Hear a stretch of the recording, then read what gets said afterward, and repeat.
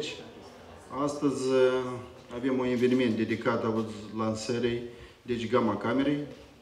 Deci, sunt toți, s-au adunat toți sau încă mai avem. Începem? Putem începe? Stimată domn ministru, excelență, domnule ambasador a Japoniei Republica Moldova, onorată asistență, stimați colegi, în numerele colectivului Centrului Republican Diagnostic Medical, salut eh, prezența deci, eh, invitațiilor noștri la acest eveniment și de lansare deci, a proiectului de modernizare a Centrului Republican Diagnostic Medical, care a fost eh, finanțat cu suportul Guvernului Japoniei Republica Moldova, deci, în acest proiect, Centrul Republican Diagnostic Medical a beneficiat de o gamma cameră și valoarea acestui proiect este de 355.000 de dolari americani. Care sunt avantajele deci, acestui uh, proiect? Deci, datorită acestui proiect, s-a uh, micșorat esențial timpul de scanare și respectiv, uh, și respectiv s-a micșorat și timpul de așteptare. Dacă la inițierea acestui proiect, timpul de așteptare a pacienților era în mediu de 90 de zile, el s-a redus esențial până la 30 de zile și zilnic pe acest echipament efectuăm în jur de 10, 17, 15 deci scintigrafii a diferitor organe și sisteme, cum dumneavoastră cunoașteți, merge vorba de scintigrafia glandei tiroide, pulmonare, scintigrafiile pulmonare la bolnavi post-COVID, cât și depistarea deci, bolnavilor oncologici.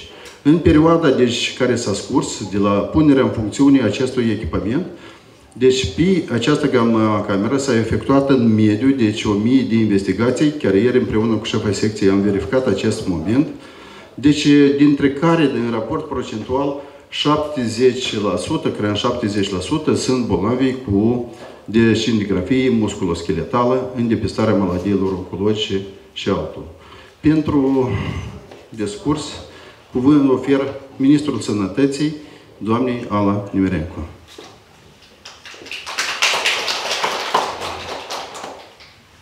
Bună ziua tuturor! Domnule ambasador, Yamado Ishiro, excelență, domnule director, colegi, eu de fiecare dată anunț despre aceste evenimente cu o mare bucurie și mândrie în suflet și dumneavoastră înțelegeți foarte bine, deoarece reprezentanți un centru care se ocupă preponderent cu diagnosticarea maladiilor și înțelegeți poate cel mai bine că așa centre nu pot să existe fără echipamente performante. Medicina înaintează foarte și foarte rapid, noi în Republica Moldova avem resurse limitate, dar trebuie să ținem pasul cu tot ce se întâmplă în medicina modernă peste hotare. Pacienții noștri, de asemenea, au nevoie de un diagnostic rapid, de intervenții, tratamente rapide, astfel poate fi salvată viața sau redus riscul de complicații.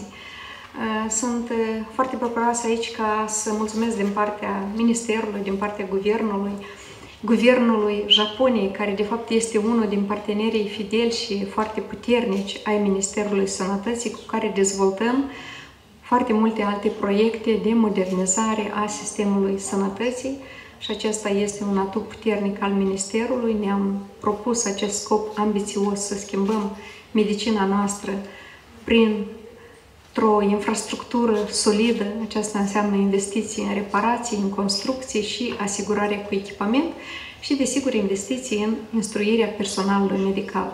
Personalul medical poate să rămână în instituții și să rămână în țară, nu doar din cauza că am mărit salariile și am face așa promisiuni și aceasta s-ar întâmpla, este foarte important în ce condiții activează, ce echipamente utilizează și care este satisfacția morală a fiecăruia atunci când își termină ziua de lucru. Uh, eu vă felicit pentru faptul că aveți în dispoziție un nou echipament care a fost procurat cu ajutorul Guvernului Japoniei. Uh, acest echipament Gamma, care permite uh, să efectuați mai multe tipuri de scintigrafii, care sunt uh, extraordinar de necesare în anumite patologii și alte tipuri de investigații, nu oferă așa un tablou informativ cum îl oferă radiația gamma care uh, poate capta anumite tablouri din cauza că este într-un volum tridimensional și voi cunoașteți mult mai bine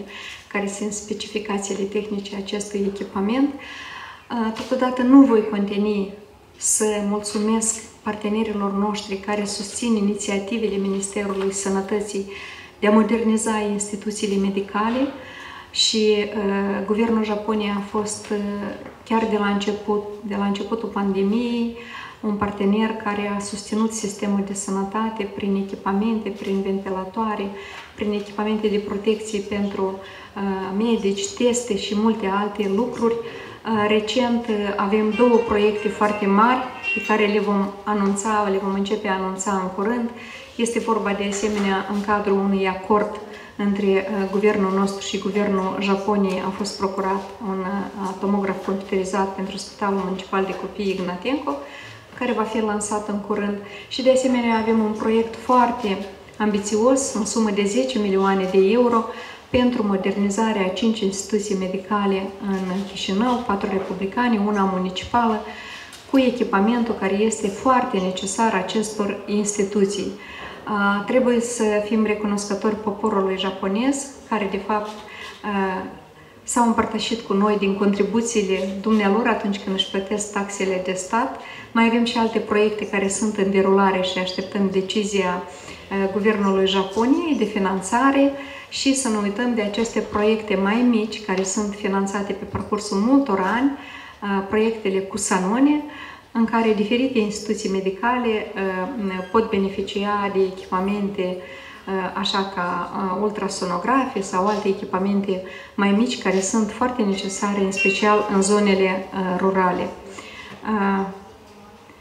Eu cred că ceea ce a spus domnul director, în special când noi putem cumva să degajăm aceste rânduri de așteptare care creează o alertă în rândul pacienților, fiindcă atunci când ești bolnav și mai trebuie să aștepți, acesta sună ca un verdict greu și noi putem să fim mult mai accesibili cu așa investigații performante. Cred că este o bucurie pentru sistem, pentru dumneavoastră.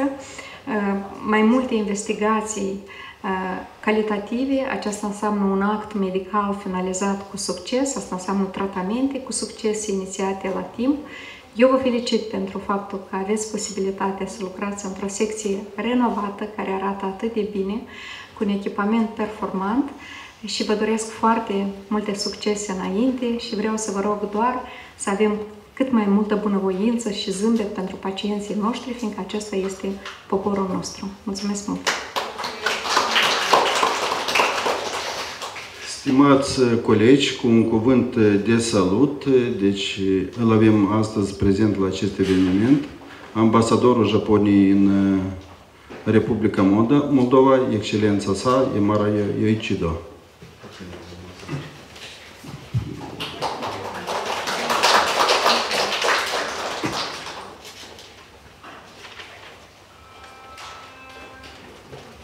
Stimata doamna ministru, stimate domnule director, stimați lucrătorii medicali, doamnelor și domnilor, bună ziua, sunt Yoichiro Yamada, ambasadorul Japoniei în Republica Moldova. Am o deosebită plăcere să fiu astăzi aici ca să sărbătorim împreună finalizarea proiectului de furnizare a echipamentului medical la Centrul Republican de Diagnosticare Medicală, o instituție de o importanță strategică pentru țară.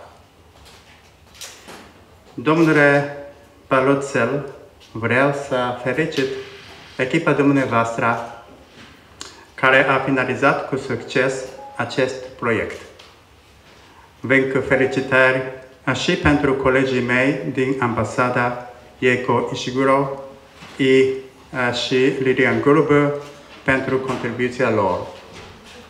Datorită grantului, centrul dumneavoastră și-a consolidat capacitățile prin instalarea unei gamă camere. Sper ca pacienții care au nevoie acum de aceste investigații vor avea acces mult mai rapid decât înainte. Profitând de această ocazie, vreau să vă mulțumesc vouă, lucrătorilor medicale, pentru serviciul prețios pe care îl aduceți societății. Eu însumi mă simt foarte apropiat de sectorul medical. Și nu doar pentru că am fost spitalizat de câteva ori și de fiecare dată le-am fost foarte recunoscător medicilor pentru profesionalismul și bunătatea lor. Soția mea lucra la un mare spital universitar din Tokyo atunci când ne-am căsătorit. Ea mi-a vorbit de foarte multe ori despre complexitatea și dificultatea muncii ei, despre dramele prin care treceau pacienții și personalul medical, despre dramele a, a, izviniți, despre recunoștința și tristețe, orgoliu și demonitate și despre conflictul dintre a fi eficient sau atent. Abia ne căsătorisem, dar nu puteam să o văd atât de des pe cât îmi doream, deoarece facea servicii de noapte frecvent. Văzând o epuizată, mă întrebam adesea cum poate un lucrător medical să facă față unei munci atât de solicitante. Însă, acelea erau, de fapt, zile mai bune. În ultimii ani, personalul medical din întreaga lume a trebuit să lupte cu tsunamiul de infectări cu COVID-19. Suplimentar, în Republica Moldova, începând cu anul trecut, dumneavoastră trebuia să faceți față și fluxului brusc de refugiați din Ucraina, din cauza războiului josnic declanșat de Rusia. Economia moldovenească s-a confruntat cu o creștere bruscă a prețurilor la energie, lipsa marfurilor necesare ca urmare a întreruperilor aprovizionărilor la nivel mondial și cu inflația ridicată care a afectat considerabil nivelul de trai al populației. Personalul medical a fost în prima linie a acestor lupte și cunosc cât de mult muncește doamna ministru Nemerenko pentru a vă asigura condițiile necesare de muncă și viață. Au trecut, ați trecut prin dificultăți incredibile. Iar lumea întreagă a văzut acest lucru. Lumea a privit cum refugiații din Ucraina sunt primiți călduros în Moldova, în ciuda dificultăților, cum aceștia primesc sprijinul medical, umanitar și psihologic necesar. Oamenii de pe întreg globul pământesc au fost mișcați și impresionați de cele mai bune exemple de omenie pe care Moldova le-a ajutat. Dumneavoastră, lucrătorii medicale din Moldova, sunteți admirați peste tot în lume, ca fiind uh, întruchiparea unei astfel de omenii voluntare. Oamenii din întreaga lume au ajuns să recunoască și să respecte foarte mult Republica Moldova datorită acțiunilor dumneavoastră altruiste. Japonia este partenerul Moldovei în domeniul medical și al sanității de mulți ani. Guvernul japonez este mândru să lucreze cu dumneavoastră, să vă fie alături și să și joace rolul modest până la sfârșitul acestei perioade dificile, până în ziua când țara dumneavoastră va adera la Uniunea Europeană. Dragi doctori și lucrătorii medicali, vreau să mulțumesc încă o dată pentru serviciul eh, prețios pe care îl eh, aduceți societății. Vreau să vă rog să aveți grijă de propria sănătate, nu doar de cea a pacienților. Vă urez toate cele bune și încă o dată vă mulțumesc.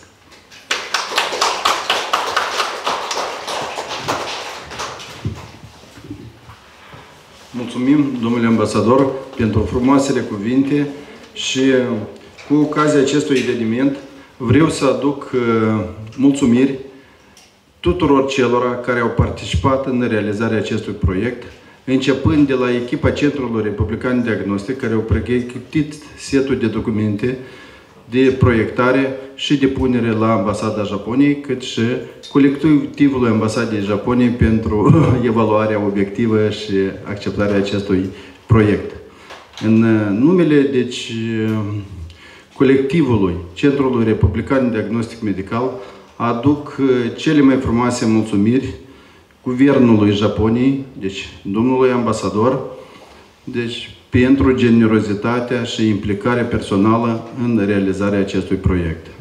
Mulțumiri doamnei Ministru Sănătății, doamnei Ala Nimerenco, pentru implicare. Deci știm cu toții ce muncă depune doamna Ministru în dotarea tehnică deci, a instituțiilor medicale cu tehnic medicală.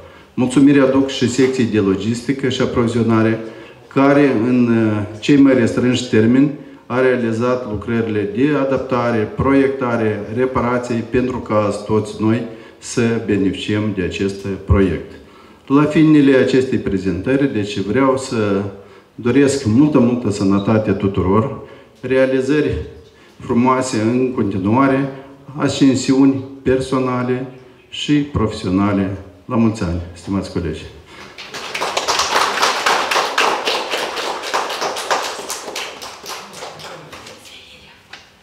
Deci, în conformitate cu agenda evenimentului de azi, mai avem un, uh, deci un punct. Merge vorba de dezgolirea plăcuții memorative instalate deci, la intrarea de, în secția de scintigrafie. Îl invit pe domnul ambasador și pe doamna ministru să, să procedem la